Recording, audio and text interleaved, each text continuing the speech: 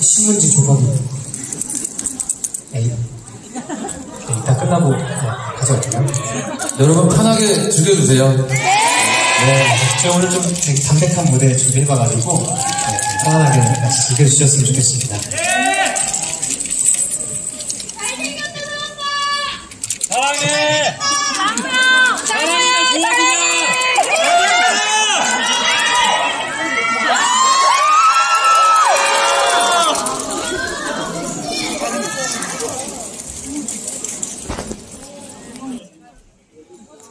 어나 그냥 가야겠다 안 보여.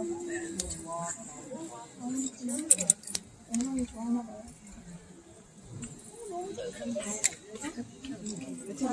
아, 그래요? 네.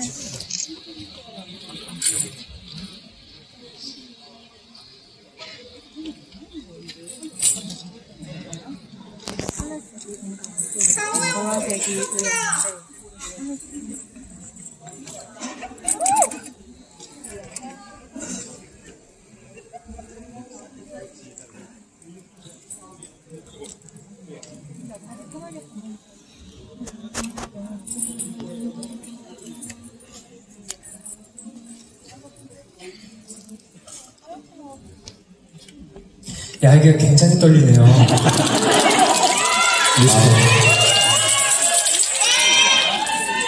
미쳐버릴 것 같아요.